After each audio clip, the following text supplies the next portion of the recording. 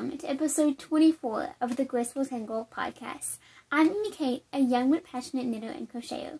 You can find links to all of the places where you can find me on social media in the description box below, as well as a link to the show notes for this episode, which can be found on my blog. So be sure to check that out if you would like to follow me on all of those places. I hope that you choose to do so. If you haven't already, I would love it if you took a moment to subscribe to my channel and then don't forget to hit the notification bell so that you can know each and every time I upload a new video.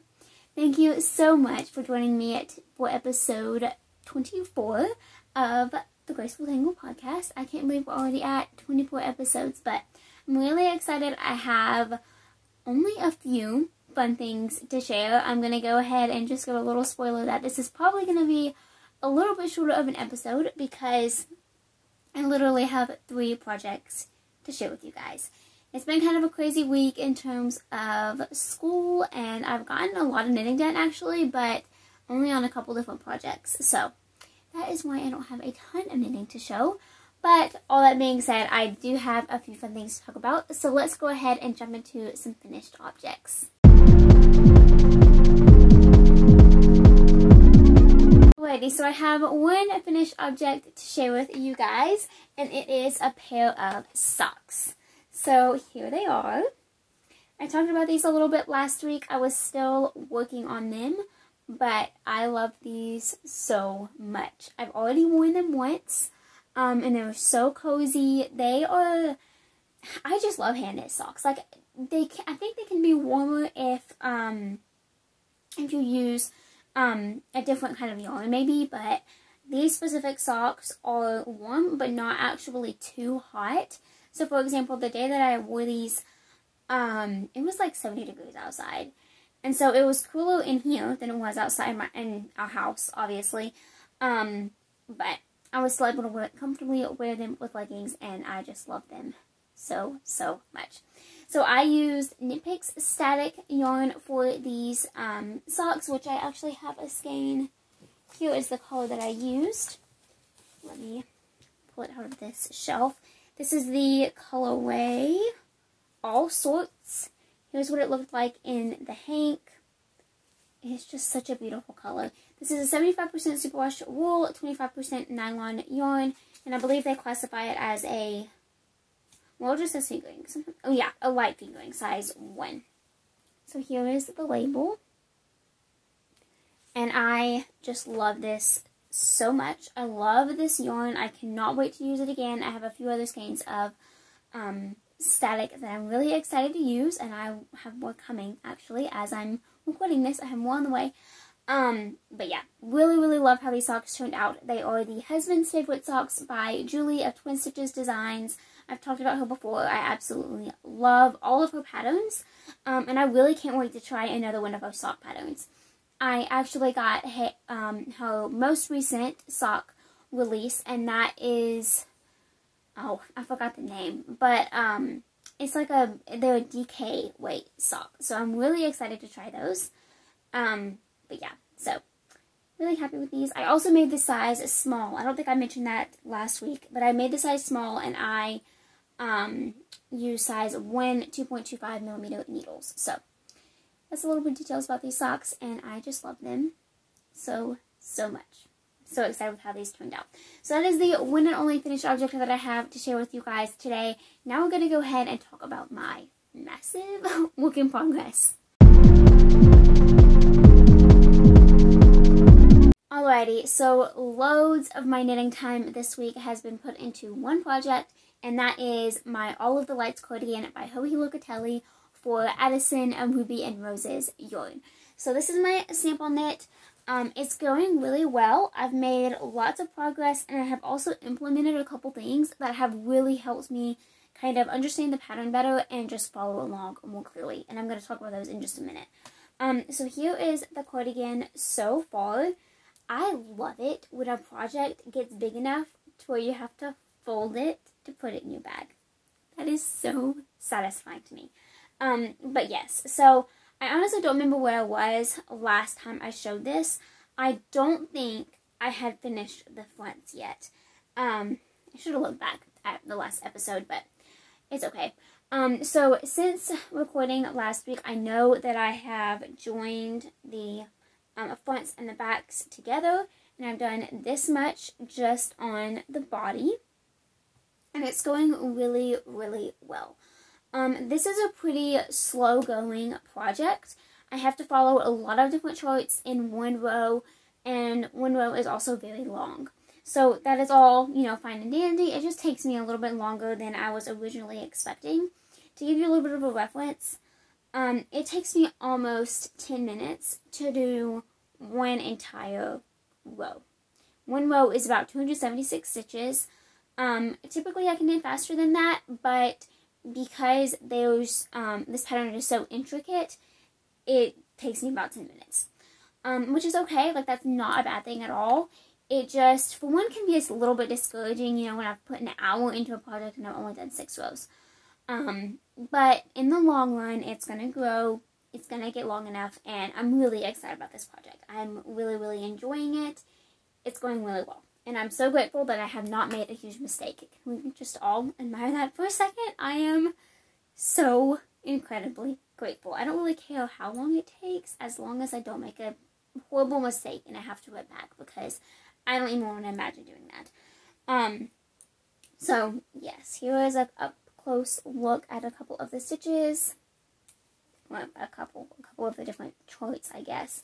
So I guess for reference, this section right here is what he calls the texture section. So that is like one chart. This section right here is one lace chart. This cable is called the braid and that's a separate chart. This is another cable, also a separate chart, and then this cable on the other side is separate. Um, and yeah, I think that's all of the different, oh, and then these two on the back. This is a separate chart, and this is a separate chart. So you can kind of see how, even though it can be a little bit simple as, you know, I, I continue knitting, it's always going to be a little bit confusing because I'm following different rows of these different charts all at the same time. Um, so yeah, that's what really, you know, makes this take so long, but it's such a beautiful project. It's such a beautiful pattern. It's amazing. Like this pattern, honestly, I was after talking to my mom about the other day. If I was Joji, this pattern would be like my life's work. Like I feel like after I would finish designing something like this, I'd be done like I don't even understand how she does it. But I mean, I design patterns too. Like I can relate to that. But I have not designed anything like this. I mean, this is uh, this is unreal. And the fact that she made it in a way where people can understand it, I don't know. It blows my mind. But she's not the only one who has done it. Like I'm not. I don't want to single anybody else out. But um, this is just the most complicated thing that I have made personally, for sure. So yeah, all that being said, the knitting itself really is not that difficult. Um, the thing that takes the longest is just the time commitment and the amount of time that it takes to knit a row. But the knitting itself, I knew I could do it. I would not have signed up if I did not think I could do it. Um, I'm not, I haven't learned anything new. Like, I have not come across a technique. That's not true. I've come across one technique that I've never done before, but it was super simple to learn. Um, so yeah, it's just time commitment and it's a bigger size than I usually make. So yeah, absolutely love it though. I cannot wait to see this continue to grow.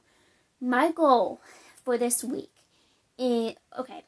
Overall, my goal is to finish the body this week. That would be absolutely amazing. However, the minimum goal that I want to accomplish is to get to where I separate for the pockets. And that, um, in order to reach that point, I have to knit 11 inches from here down. So I have to think about 3 inches so far really hoping I can at least accomplish that. But again, I would just love to do the entire body. Um, my goal is to get it back to Addison in two weeks. Um, I can mail it out to her. That is my goal. We'll see if that happens. Um, Addison has been so gracious in giving me a little bit more time, which I am incredibly grateful for. Um, because I, yeah, I have a lot of things piled up. It's going to be a really, really huge school week, and I knew that I just would not be able to finish a big cardigan like this and do all of the schoolwork that, you know, isn't optional. um, in addition to that. But absolutely love this cardigan and I can't wait to see it continue to grow. One last thing, Um, I posted about this on Instagram on Saturday, this past Saturday, and um, I was asked what colorway this is, and I didn't know at the time, but Addison actually replied to that comment, and this is her velvet colorway. So if you are in love with this colorway like I am, be sure to go check out Ruby and Roses yarn, um, and you can purchase it for yourself. She also mentioned that this is a brand new base, which is super exciting. Um, so I don't think you can buy this base quite yet. I could be wrong about that though. Um, but definitely go check out this colorway, and I am hoping to finish it soon. I really am. I love it.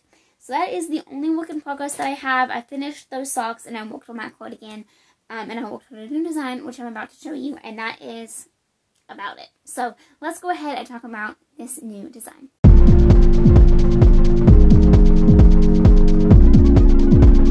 Alrighty, so I chatted a little bit about this design last week and it has grown. Um, it's grown more behind the scenes. I've put a lot of work into the pattern and things like that this week. So the crocheting itself has not changed a whole bunch. Um, however, I am almost done with the back panel. I have finished um, the ball that I was working with, and so I decided that, was a good place to stop because I wouldn't have to worry about having a ball attached to it to show you guys. But this is going to be a kimono. It's pretty secret, so I'm not going to talk about it too much. Um, but this is the back panel.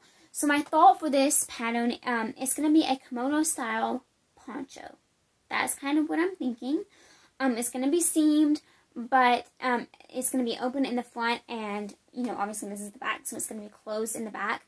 So my thought is kind of like a really oversized, comfy kind of blanket kimono, but I didn't really want a poncho because personally I don't like the way that ponchos look on me. Um, so I decided to make it into like a cardigan style, and I already love it so much, and I cannot wait to see it finished. Here is an up close um, look at the stitch pattern. The colorway is not picking up exactly, and this is accurate. So way back here, this is what it actually looks like. Um, this is Guava Worsted in the color Brindle. This is a beautiful rusty brown. Absolutely love this per usual, I have a whole outfit planned, and I cannot wait to wear it all together. um, but yeah, absolutely love this. Again, it is pretty secret, so I'm not going to talk about it too much, but I will continue to share little updates about it here and there because I really love it, and I cannot wait to see what you guys think um, in the coming weeks. It will be coming late November, so stay tuned for that. And that's it for knitting. Um, I'm, I've, I'm of course, wow, huge tongue twister there. I am, of course, working on quite a few things behind the scenes. I had a lot of big um, deadlines that kind of all went back to back to back. Um, but those are now being finalized and complete, and I'm going to be able to have a huge announcement coming later this week, which I am so, so excited about. So stay tuned to my Instagram feed and here on the YouTube channel for more announcements about that. Um, yeah, it's a big deal and I'm pretty, pretty excited about it. So yeah, let's go ahead and talk about a little devotional.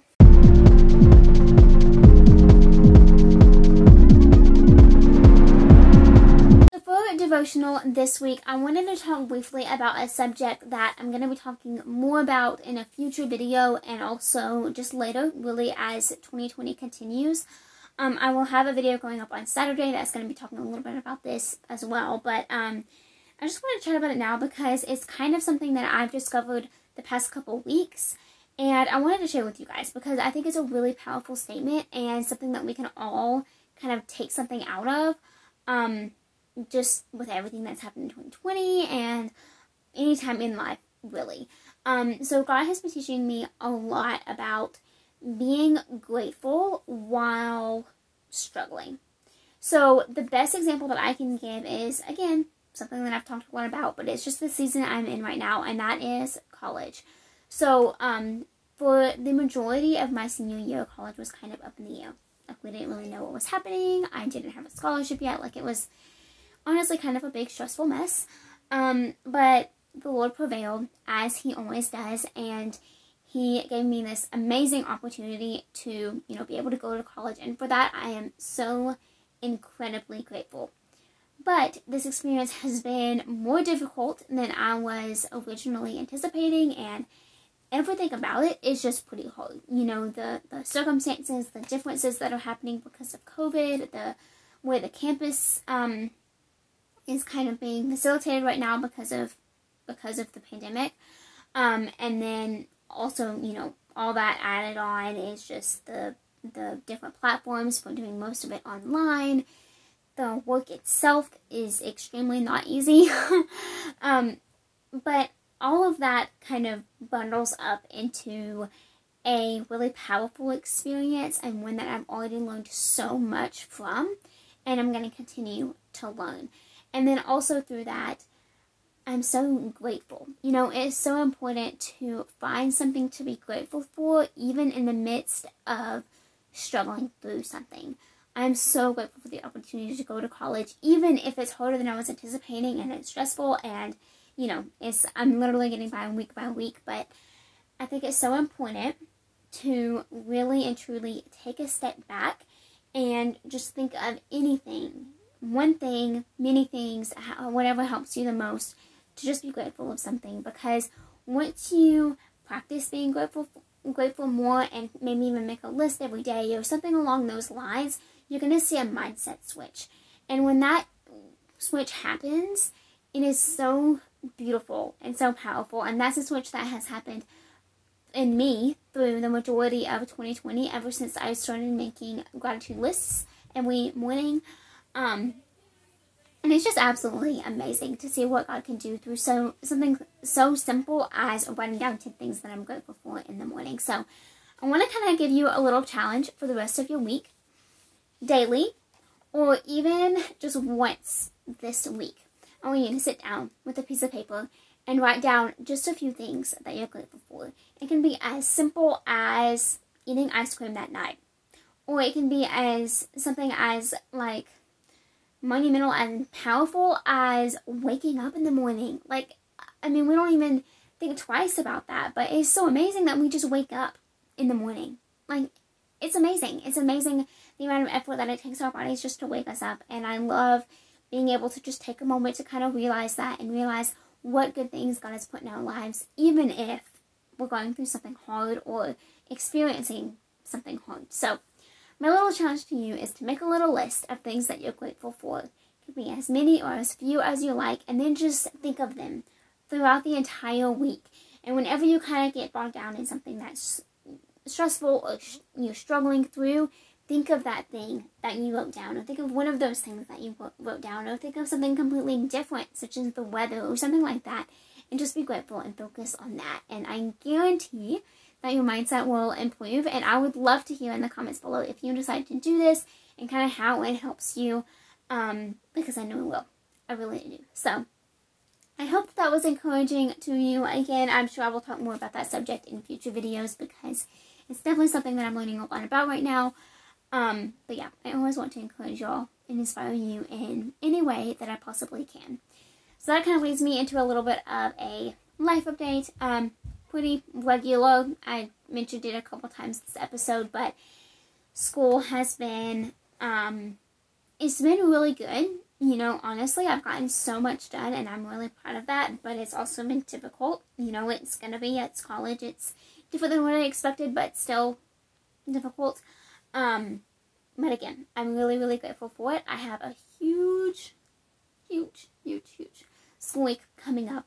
Um, but I'm hoping that it goes well and I get everything done that I need to get done. Um, and I also have a few super exciting things happening this week that I am really excited to be able to talk about and um, kind of share with you guys. So stay tuned for the rest of the week because, yeah, awesome things are coming and I'm really grateful for it and really, really excited. I can't believe October is almost over. That's crazy. This is the last week of October. I kind of like it when a month ends on a Saturday or the weekend. I don't know. It just kind of concludes it for me. And then being able to start this, you know, next week um, on November 2nd, it'll be, I think. Yeah, that's right. Um, I don't know. It'll be fun. I, I kind of like the new week, new month. I like the reset. Um, but yeah, I hope that you guys have all had an amazing week so far and that you continue to have a great week. Or if you haven't had such a great, great week so far, I hope that it seriously improves. And yeah, stay tuned to my feeds so that you can see all of the fun things that are going to be coming in this week.